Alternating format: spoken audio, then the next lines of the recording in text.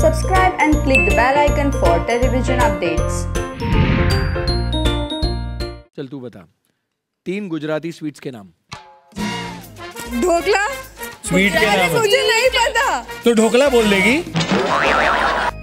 आज kitchen champion के मंच पर होगा दो गुजराती हसीनाओं के बीच आमना सामना जी हाँ आप सभी की फेवरेट है लीशा और विधि पंड्या अपने स्पेशल गुज्जू डिशेस बनाकर करेगी तीनों नन्हे जजेस को खूब इम्प्रेस पहले तो अर्जुन, हेली और विधि के सामने रखते हैं काफ़ी ज़्यादा यूनिक मज़ेदार टास्क जहाँ उन्हें आटा गूंदना होता है। और फिर इसके बाद अर्जुन, हेली और विधि दोनों के पैर बाँध कर उन्हें कहते हैं कि वो डोनट्स खाए।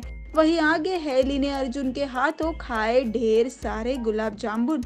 और इतना ही नहीं, अर्जुन ने विधि से पूछे काफ़ी ज़्यादा मज़ेदार सवाल, जिसका विधि जवाब दे ना सकी।